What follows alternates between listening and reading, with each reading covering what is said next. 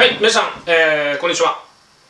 いよいよね明日出発します。明日中東、えー、経由で、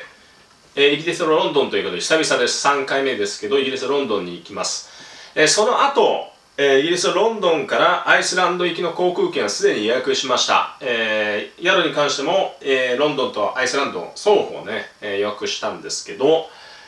えー、今回ね、えー、言及させていただきたいのは、えーまあ、このような形で言及するのもね多分しばらくしないと思いますのでねせっかくなので最後ということで最後というかしばらくしませんので投稿前最後ということでやらさせていただきます。で今回言及させていただきたいのは、えー、海外、まあ、4ヶ月行きます。4ヶ月は例えばヨーロッパイギリスロンドンから入ってアイスランド行ってその後フランスに渡る可能性が高いです。えー、でドイツ。で、ポーランド、えー、そこからチェコ。あチェコ行ってポーランド。ポーランドからベラルーシとかウクライナは空路で、えー、往復して、えー、そこから旧祖構成国モルドバであるとか、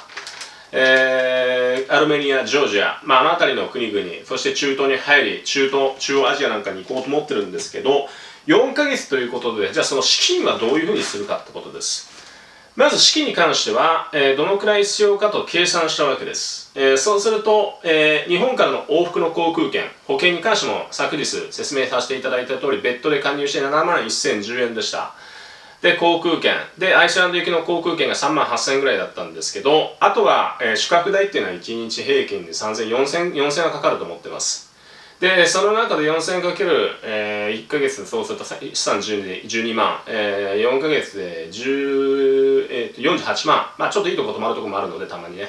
50万ぐらいと考えて。そうすると食事代とか観光代そして今回はいつもに比べて、えー、陸路で行けるとこは陸路で行きたいんですよ。あんまり俺飛行機がそこまで好きじゃないと思って。で、陸路で行けるとこは陸路で行きたいんだけど、陸路じゃ入国できないところ、ビザがいらないと言ってる国、例えばベラルーシのミンスクなんか、ベラルーシなんかだとね、えー、飛行機で首都のミンスクに到着すればビザが5日間いらないということで、陸路で入る場合はいるということです。なので、そういった規定があったりする国がいくつか中東の中にもあったりするので、飛行機を多分7、8本予約します。だいたい1本あたり3万から4万円ぐらい安々選んでもそのくらいにするので、そう考えると、えー、まあ、130万円ぐらい、総額で、えー、今回4ヶ月で130万円ぐらいと思ってます。これが東南アジアであれば、えー、3分の1ぐらい、まあ、40万円あれば十分かなっていうところです。10万あれば、あの国に行ったところでタイとかね、その周辺なんか絶対暮らせますので、えー、やっぱりまあ東南アジアに比べたらお金がかかるのは事実です。だけどまあやっぱりお金っていうのはねで大体だからバックパッカーこれベックパッカーの話をさせていただいてベックパッカーの話をさせていただいて思い出したんだけど、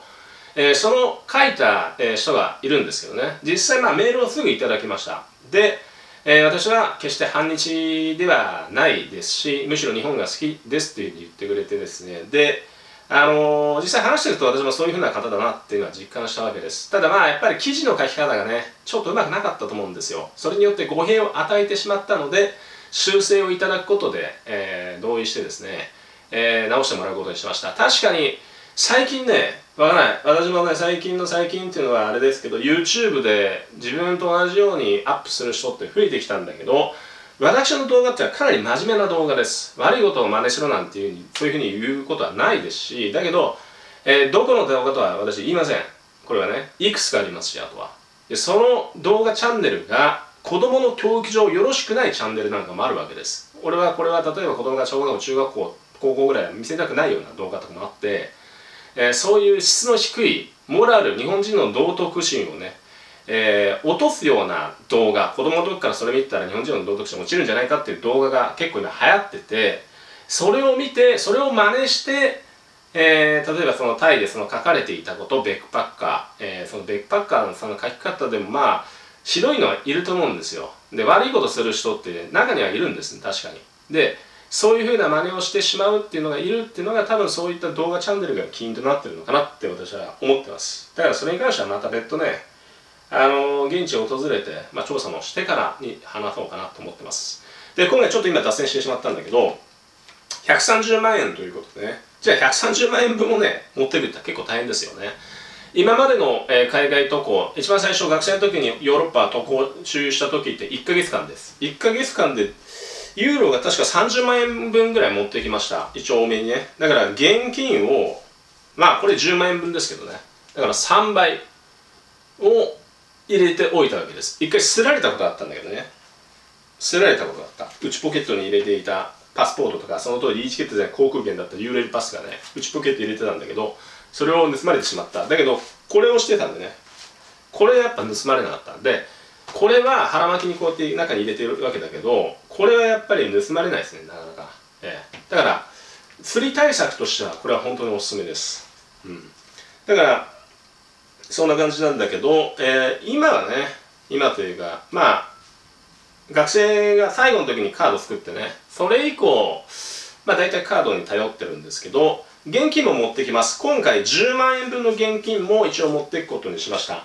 で日本円は多分5万円分ぐらい持っていこうと思ってます。まあそれでも結構多く持っていくと思うんだけどね。で基本的に今はまあ大体どこの国もねちょっと変微なとこ行かなければカードが使えます。ただあ自分が持ってるアメックスアメックスに関しては通用度が低くてえー、いわゆるビザかマスターということでね、まあ、ビザカードを持っていこうかなと思って、ビザカードで、まあ、決済、だから現地の宿とか払うときは、まあ、ビザカードとか、もしくは、サイト、予約サイトでアコダでそのまま決済される時があるので、そういう時って必要ないじゃないですか。で、あと入場料とかいろんなものにしても、大体もうカードを使えるので、大体どこの国でもね、カードで決済してって、えー、小さい小さいお店っていうのはカードが使えなかったりするんです。そういう時っていうのはこういった現金をまあ使っていこうかなっていう、そういう博物館でも使えないとこ結構あったりしますので、えー、思ってますた。だ現金管理としては、えー、日本円5万円分と10万円分のユーロ、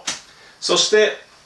カード類をいくつか持ってきます。これは SMBC の信託金庫、そのまま交際キャッシュということで、えー、引き落とす形で現地の通貨でね。もしくはクレジットカードを持ってますので、クレジットカードで現地のキャッシング、手数料ちょっと取られますけど、現地のキャッシングという形で、えー、やっていこうと思ってます。まあ、ユーロということで EU、えー、ヨーロッパ連合というヨーロッパユニオンということでヨーロッパ連合に加盟している国って今ユーロにね、えー、通貨が統合されていますただ、えー、旧ユーゴの一部の国々コソボが使えるんだけどねユーロでとか旧祖構成国なんかだと、えー、やはりそれぞれの独自の、えー、貨幣持ってますしあとはトルコとかね中東イランとかオマーンとかアラブカタールまあそういった国も行きます中央アジアの国々も行きますけどそういった国には現地のえ通貨を持ってます。そういう場合ってユーロが必要になってくるのでえ、それはそれでね、またユーロで、米ドルでもいいんだけど、まあ基本的にはユーロがいいかな。まあユーロの方が多分ね、レート的には米ドルはちょっとかなり今円安が進んでるので、えー、いいかなと思って、あえてまあそういった形でね、えー、ユーロで換金していこうと思ってます。で、現地でもキャッシングできますので、ただキャッシングする際、まあ俺今まで一回もやれたことないんだけど、スキミングされる可能性があるので、えー、そこは必ずそこのところをこう隠してね、えー、暗証番号打ったりした方がいいかなって感じがします。うん。まあそんな感じです。なので、えー、今回言及させていただいたのは、海外での、えー、資金管理、え、どのようにして、資金を管理してい、えー、くかということです。まあ費用に関しては、まあ4ヶ月で大体130万円ぐらいを、えー、持ってますけど、えー、頑張ってみます。まあ、それでも結構抑えた方なんだけどね。やっぱこういう地域ってお金結構かかって、いわゆる、